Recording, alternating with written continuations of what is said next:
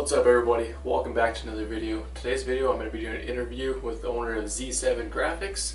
We're going to jump right into it. Hope you guys enjoy. Make sure you guys hit that subscribe button. And if you guys enjoy the video, give it a like, comment your thoughts down below. Enjoy. Hey guys, welcome back to another video. Today we have Z7, Z7, I don't know exactly which one you go by. Z7, yeah, Z7 Graphics. Okay, we got Z7 Graphics. I'm going to let him introduce himself and what he does. Alright, so um, I'm uh, Zach Jones. I'm the owner of uh, Z7 GFX or Z7 Graphics. Uh, uh, we do wraps, graphics. Um, we actually do a little PPF work, even though we don't advertise it, Okay. and um, pretty much everything else. So, Okay, well, I'm going to start you off with the question why do you get into the business? uh, it's kind of a long story, but uh, Can you sum it up? Yeah, I started off in the graphic designs part, and then um, I worked for a couple of guys right out of college. I just like seeing stuff, you know, designing stuff and then having it printed. And then uh, I ended up doing a wrap design for one of the guys, and uh, I think within a couple of months, it already paid for uh, the wrap and the trailer. He, I think you know the first job he sold off of it, you know, paid for the whole trailer and you know wrap and then some, and that's what kind of really got me interested. And then uh, so uh, started out in my parents' two car garage, and uh, and uh, they uh, slapped a Roland printer in there, a laminator, and a table, and barely had enough room to walk around in, in for a while. So that's that's how I got started, and then um, now we're in a we built a shop, about a, about a four thousand square foot shop. It's all heated and aired, everything, and that's where we're at now. And so That's sweet. really enjoy it, and uh, wake up every day doing doing something I like love doing. So That's awesome. it's a good thing. Very cool. So, out of all the different things you do, from you, you still do graphic design, I'm assuming. Yeah, um, that's kind of where my bottleneck is right now. Oh, okay.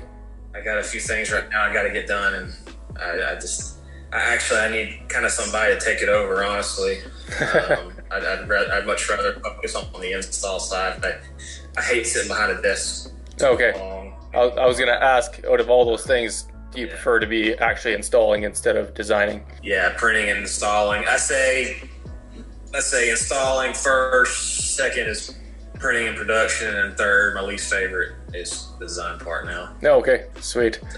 Yeah. What's What's your favorite from all the things you install? Is it printed graphics, or is it signage, or color change? What do you What do you prefer? Just, uh, I'd rather do wraps, printed wraps, I guess, because that's the that gets the. I know uh, that's going to give the customer a good return on investment. Can't remember was that. Yeah, we do flat panel signs. Um, yeah, we do. Uh, I guess this, the biggest thing we do is we do wraps, graphics, some color change, auto restyling, and then we do. Uh, um, a lot of decals, big decal orders. Oh, okay. Uh, do a lot of those. You don't. I don't post a lot of those. There's a lot of things I don't post on Instagram, um, but uh, I think that's a lot of businesses. Yeah, I don't. I, I don't like to advertise who who all my customers are. Well, So, there's no need to, right? yeah, yeah. As long as they keep me busy. So Exactly. uh, Favorite job that you've done? Like, is there is there a favorite wrap job? I know you- you've done some pretty cool stuff. that's sad. I don't know off the top of my head. uh, I guess when you've done a lot of cool stuff, it's hard to pick one. I don't know. I don't really have a favorite. No? Um, that's that's all good. I just thought. You know, um, I like- I've had some that I don't have good memories of, but uh, turned out pretty good. Uh, but um, I'd say that the, the one of the cooler ones I've done is that um, is a Challenger.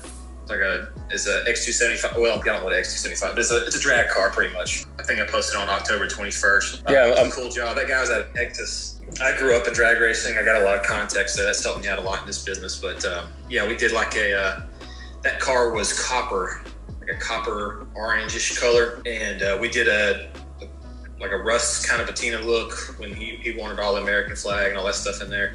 And we did we printed on 3M satin white aluminum, and then done like an ultramat laminate, and then did the hood and some other parts with uh, satin, some satin black, and uh, Yeah, I'm that looking. one turned out. I'm looking at it right now. It's sick. It's very cool. Well done. Thank you, appreciate it. So that was kind of our first, my first shot patina wraps or something. No, okay. I learned a lot during that, but uh, Yeah, patina. Patina's cool. I like it if it's done right. Yeah, if it's done right. Um, I've seen some done in gloss. That's kind of kind of a little odd. It, it is. Yeah. but it, it turned. I, well, I, take that back. It's it's all right because you know uh, you know there's patina stuff out there that's got a gloss you know gloss uh, clear coat on it. That's so true. That yeah. I gotta ask you, you. You did that patina toolbox wrap. Yes, sir. Did that end up in Alabama? Do you know? Uh, I don't know. It was so the guy had it on his the dealer that we did it for had it on his truck for about a year and it wasn't selling. Uh-huh. So then he had this idea to do the patina wrap. We did the wrap on it, and then he said it sold the next day. So I don't know where it ended up. Okay, because we did a um, dad. My dad owns a Snap-on franchise. Okay. And um, so back, I think it was early this year or last year.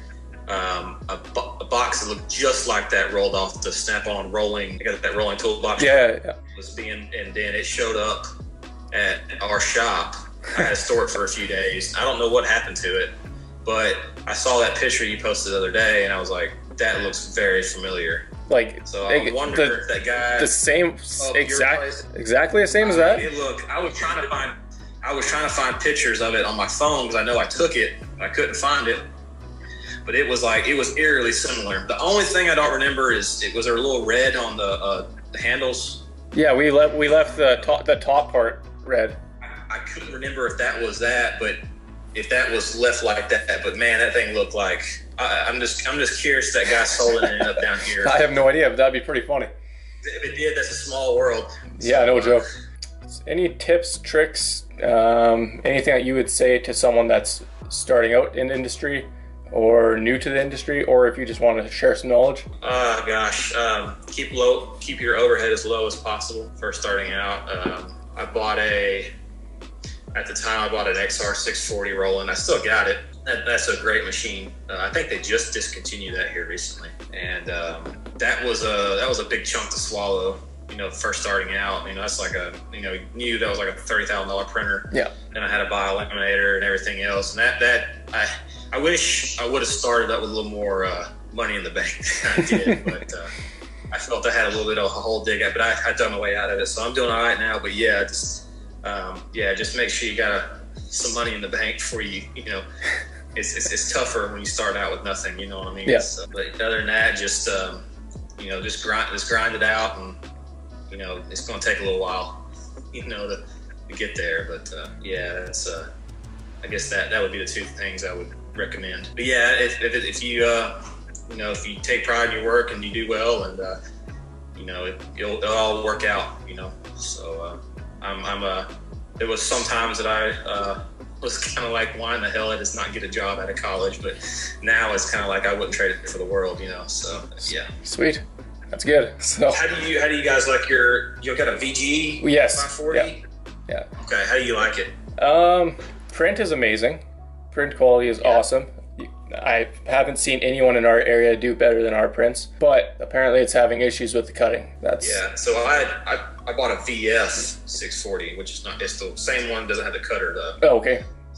I ordered that back September 4th, and I got the printer in November, and they told me today that the cutter which is like the roll. You know, they had that, that promo going on. I don't know if you saw it or whatever. You oh, okay. buy the VF, buy the GR 640 or whatever it's called. Anyway, they, it's in Texas right now. It's on. It's making its way here finally after ordering it September. But uh, yeah, so I, I have been kind of. We got two printers right now: the XR 640, which is a print and cut, and then the VF, which is only a print only. So it's been kind of a little aggravating um, printing off on the VF, and then you know it's kind of the whole reason I bought the separate cutter is because it's it's a lot better when you're doing high volume. Exactly. Yep. and um, that's been a little bit the the cut, you know. But the XR has been a great cutter.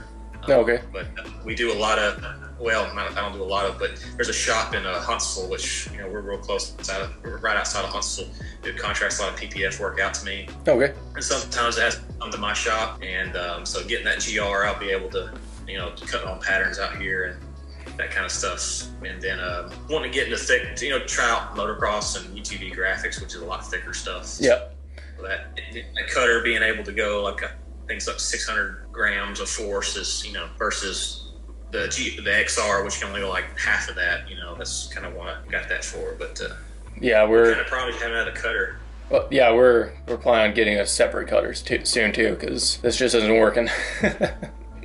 but What What's the problem with what? apparently it's like I, I haven't operated it myself yet. That will be in the new year. I'll start actually printing. But Lee's been using the printer, and I think he says he's trying to do perf cut, and perf cut isn't working. Okay. I, I don't I don't know. I don't know all the details. He hasn't told me too much. All he says is it's not working properly to cut stickers. So Uh, yeah, perf. Like my XR, I do a lot of perf cutting. Um, it's you can't do very complex things. Oh, okay. It's, it's when I when I perf cut stuff, it's for like rectangular, circle stuff. I, I keep it simple. I got one company I do work for out of Georgia, and it's it's kind of a little bit of that's as far as I'm willing to go with it. It's a little more. Com- um, actually, I got a sticker here. Yeah, that's about as fu- complicated as I'm going to get with perf cutting oh, okay. on my XR. Um, I'm curious to see what the independent cut, you know, the standalone cutter is going to do. But uh, but I, I remember when I started perf cutting on the XR, I had to make my own swatch for it. And I, I know now it's like I it's when they installed that cutter, they or the new printer, they uh, they got you know VersaWorks now it's got its own standalone perf cut deal or whatever. It's a little different. Yeah, perf cutting can be a bitch sometimes. But um, I got I got a friend of mine who's got a uh, shop in. Uh, well, not a friend of mine, but a, a guy I know. He's up north on the East Coast, and uh, he's he, I think he's got an older VersaCAMM, whatever. And he, he has problems perf cutting Oh, okay. too. So luckily, I've been okay with it. Usually, I, I was like, it's like it's like a calender media, like a standard, you know, five year decal with a laminate. I'll do like 160, 170 grams of force, and then the perf cut, I'll set it all the way up to 300 and let it go to town on it. But the little perf strip, the, there's a little prote- protection strip. It's it's uh, it looks like hell right now, but. Uh, but uh, that's yeah, yeah. If he needs if he needs any help with perf cutting, let holler at me. I might be able to help. But, uh, okay. but Sweet. yeah, it's uh, Well, guys, that's the video. Hope you guys enjoyed it. If you guys did, give it a like, comment your thoughts down below if you learned something, or just give it a comment. I appreciate all the comments, and I comment back to every comment that is left on my channel, or I try to, I should say. If I don't notice it, that's the only time I wouldn't comment back. But if I notice a comment, I comment back. Because I appreciate every one of you guys that watches my videos. So yeah, thanks for watching guys. If you guys enjoyed this video, once again, give it a like. See you guys in the next video. Peace.